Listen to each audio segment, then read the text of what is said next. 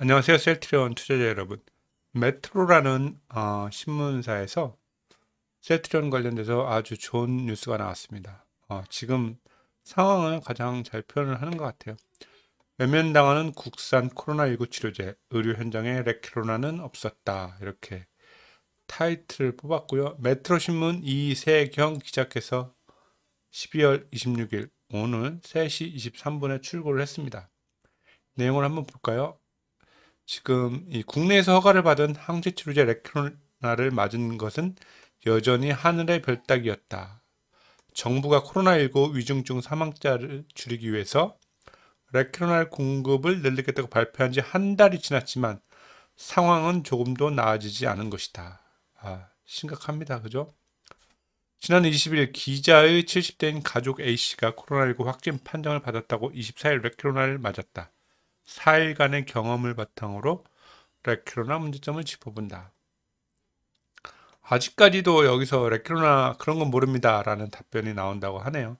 우리도 뭐 지금 세트리온 투자자들 이런 얘기를 많이 듣고 있다고 얘기를 듣죠. 그죠?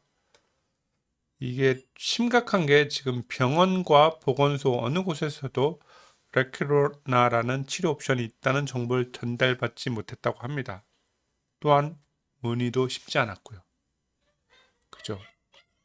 그러면서 재택치료제 전담 병원에서는 조건이 까다로워 맞기 쉽지 않을 것이라면 모르겠으니 확인해보고 알려주겠다고 했다고 합니다. 이 레크로나를 맞으려면 조건이 있어야 하는데 산소 치료가 필요하지 않은 성인 경증 환자여야 하며 증상 발생일로부터 7일 이내여야 한다. 나이가 51세 이상이거나 50세 이하 가운데 비만이나 기저질환자, 그리고 CT상 폐렴 소견에 있는 확진자가 투여 대상이다. 이건 우리가 너무 잘 알죠.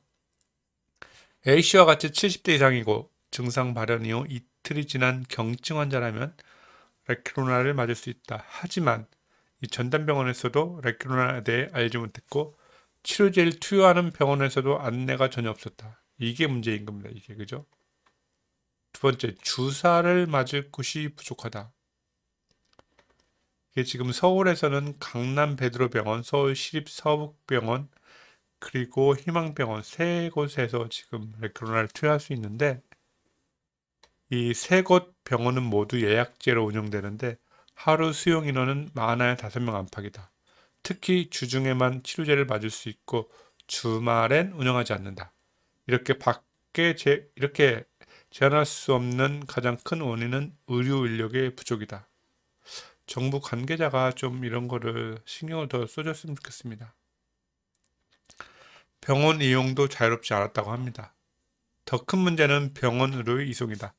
레크로나를 맞기 위해 확진자가 자택에서 병원을 오가려면 전담병원에서 제공하는 앰뷸런스나 방역 택시 등을 이용해야 한다. 자차 이용 등은 전혀 허용되지 않는다. 이 때문에 확진자가 레크로나를 맞을 수 있는 병원을 예약했다 해도 이동수단을 구하지 못해 갈 수 없는 문제가 종종 발생한다. 자차를 이용을 하게 해도 괜찮을 것 같은데, 그쵸? 증상이 심하지 않으면 본인 차량을 이용해서 운전을 해서 가서 레크로나를 맞고 다시 재택 치료를 시작해도 괜찮을 것 같은데. 이대 목동병원 천은미 호흡기내과 교수는 드라이브스루 선별 진료소도 허용하고 확진자가 활보하는 상황에서 확진자가 혼자 자차를 몰고 가는 것이 왜 위험한지 모르겠다며 확진자가 이렇게 늘어나는 상황에 이동수단 제한까지 있는 건 말이 되지 않는다고 지적했다. 이건 뭐 상식적으로 말이 되지 않는 아, 제한인 거죠. 경구용 치료제에만 허용할 것인가? 전문가들은 효과 좋은 국산 치료제를 한국 정부가 외면하며 위중증 사망자를 키우고 있다고 지적했다. 경구용 치료제는 이를 2회, 한 회당 3알씩 5일간 총 10회 30알을 복용해야 하며 가격은 700달러 수준인 반면 레크로나는 1회 정맥 주사만으로 효과가 3일 내에 나타나며 가격도 40만원 수준이다. 천은미 교수는 그동안 레크로나의 공급이 충분히만 이루어졌어도 위중증자, 사망자를 줄일 수 있었다고 설명했다. 정부 관계자들 잘 들으셔야 될 것 같아요.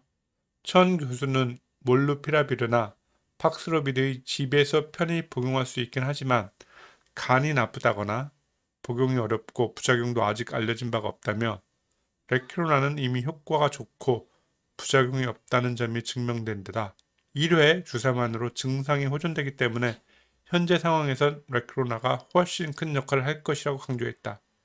지금 경구용 화이자 치료제가 FDA에서 긴급 사용 승인을 받았지만 우리나라에 들어오려면 아직 멀었잖아요.